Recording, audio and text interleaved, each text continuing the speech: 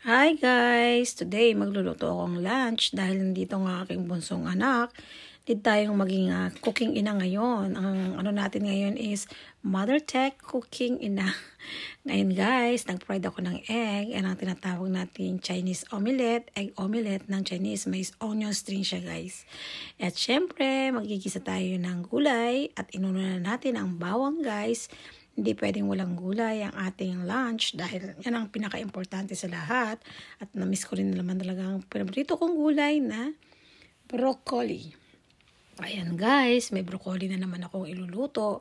Yung mga nakikita yung mga previous na cooking ano ko is may laging merong broccoli. At syempre, hindi pwedeng walang meat guys. Nag-marinate tayo ng pork dahil favorite din ng aking busong anak yan. Kailangan nating magluto ng pork guys. Hindi pwedeng gulay lang ang ating uh, ihahanda dahil hindi kakain yan pag walang pork. Favorite ni Bunso ang pork guys. Ayan guys, nag-start na akong mag uh, fried ng pork. Ayan, Kita nyo yan guys. Minarinate ko guys yan sa bawang, toyo, paminta. Yun lang ang aking hinalo. Pero siguro masarap naman. I hope magustuhan ni Bunso ang aking uh, fried pork. Siyempre, habang nagpa-fried tayo ng pork, niready ko ng aking fried tilapia. Kasi ang bala ko nga, mag-sweet and sour tilapia. Ayan, dahil nga mag-sweet and sour tayo, hinanda ko na rin ang ingredients, luya, string onion, at syempre sibuyas guys. Ayan guys, ang aking pork. Pinagsabay-sabay ko na guys kasi matatagalan ako kung paisa-isahin o dalawang prito natin. So meron na tayo na pritong kahit papano.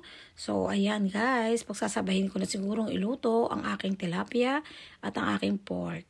Ayan guys, nagpainit na ako ng isa pang kawali para sa akin tilapia kasi kung pag-iisa-isahin ko yan, matatagalan tayong kumain ng lunch guys.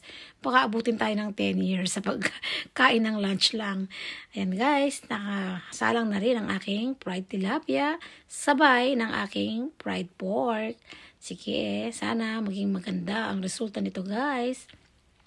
Ayan guys, pabalik na rin na natin ang tilapia. Ah, oh my God guys, mukhang hindi maganda ang aking pagkakaprito ng tilapia. Siguro hindi masyadong mainit ang mantika sa kakamadali ko guys. So mali yan guys. Huwag niyong gayahin. Ang ginawa ko, dapat talaga mainit ang mantika guys bago ilagay ang pusta.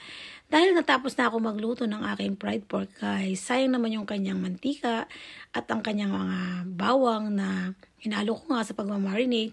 So naisip ko guys na magluto ng fried rice. Ayan guys, nagpa-fried na ako ng dalawang itlog para sa aking fried rice. Diba? Para mas masarap po lang. Sayang, i-recycle natin ang mantika, guys. Huwag ko lang tapon sa aking, ano, sa aking content na to walang tapon, guys, kasi sayang talaga. Ayan, guys, nilagay ko na ang rice. Ayan, nagdagdag pa nga ako, guys, kasi baka masyadong mamantika. Kaya nag-add pa ako ng more rice. More rice talaga, guys, para masarap. Actually, masarap naman talaga yung pinagbabaran ng aking baboy, 'di ba? Yung pag nagma-marinate tayo, 'di ba talaga namang ginagawa natin is yung pinagmantikaan ng ating pork eh ginagamit natin for fried rice. So, yun ang ginawa ko guys para walang sayang. Masarap naman yan guys. I'm sure masarap. Sasarapan ko talaga kasi mahilig din naman ako sa fried rice. Kita yan guys. Naglagay din pala ako ng toyo para magkaroon ng kulay ang aking fried rice guys. Ganyan man dito nilalagyan nila ng toyo ang kanilang fried rice para makulay. Hindi siya maputla. O diba kita nyo ang brown brown ng aking fried rice. Tsaka syempre nilagay ko pa yan. Nilagay ko pa ng shape para maganda ang itsura ng aking fried rice. Hindi kalat-kalat. Guys, sorry. Hindi maganda ang pagkakaluto ko ng tilapia. Medyo nadurog siya. Siguro nga ang mali ko. Hindi ko siya napainit ang mantika.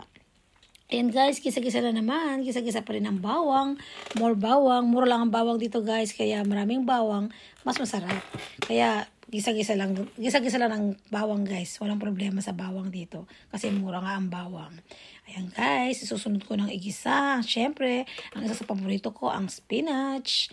Ayan, namiss ko ang spinach guys. Kasi nung nagbakasyon ako, hindi ako nakapagluto doon ng spinach at broccoli. Kaya ngayon guys, nagkaroon ako ng chance na magluto ng spinach ulit. Siyempre, inuno ko muna ang tangkay para mas madali siyang maluto. Kasi pag sinagsabay ko sila ng kanyang ano, gulay, yung kanyang dahon, madaling malulusak yung dahon. Kaya guys, inuna ko muna ang kanyang tangkay bago ko sununod ang kanyang mga dahon guys.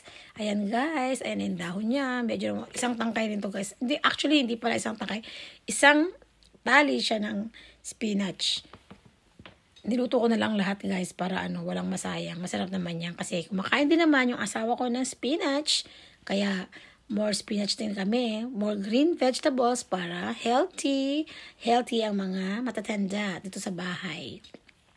Favorite namin ng asawa ko yan guys kasi healthy rin yan. Gaya rin siya ng broccoli na antioxidant at saka siguro pwede na rin anti-cancer din. Basta lahat ng uh, ma-fiber na pagkain, healthy yun guys. Kaya kain tayo ng maraming gulay para sa ating health at syempre para sa ating kinabukasan at humaba pa ang ating buhay. Diba guys? Kain lang ng maraming gulay, gisa-gisa lang. Ayan, napakadali ang lutuin ng spinach, halo-halo.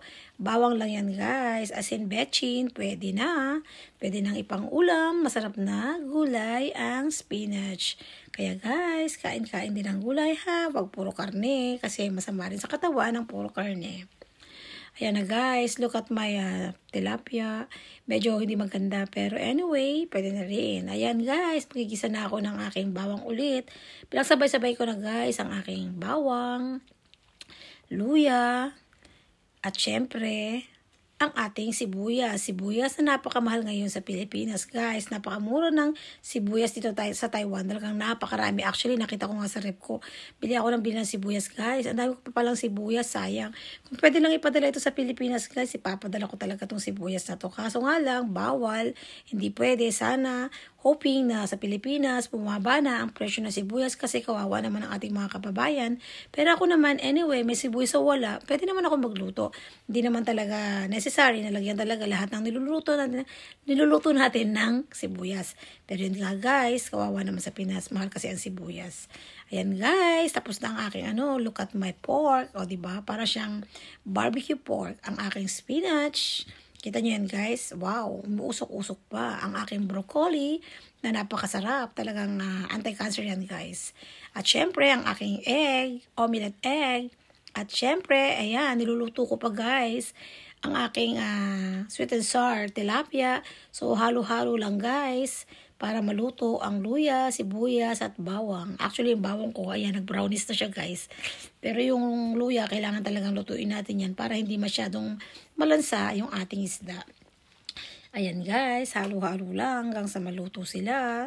Siyempre guys, pagkatapos kong halo-haloin yan, kailangan natin mag-add ng toyo.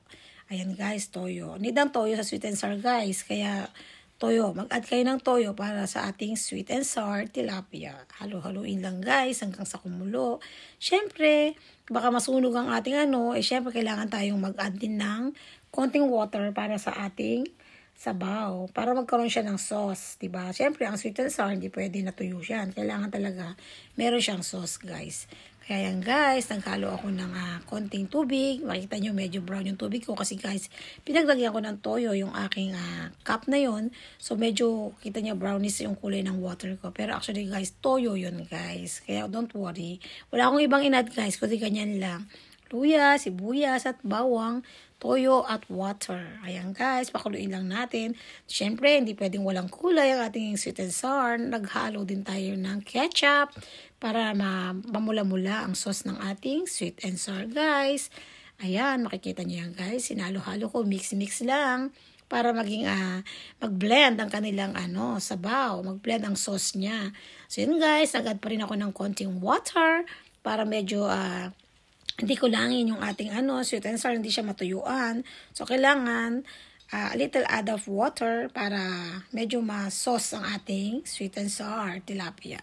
Ayan guys. Hindi ko alam guys kung nakita niyo ako naglagay pa ako ng paminta. Nag-add ako ng konting paminta para konting pampalasa lang naman guys. Ayan guys, nakita niyo nilagay ko ng aking fish tilapia. At syempre, hindi pwedeng walang onion onion strings para ano, mas magandang tingnan, makulay ang ating sweet and sour. Wala akong carrots guys, kaya ganyan lang aking sweet and sour. Anyway, ang importante, masarap ang ating niluto. Ayan guys, ang aking sweet and sour tilapia. Voila! Diba kahit paano, kahit nadurog siya, at least mukha namang masarap. At saka maganda naman yung pagkakaluto niya. Natakpan na guys. Ayan guys, kainan na. Naka-ready na ang food.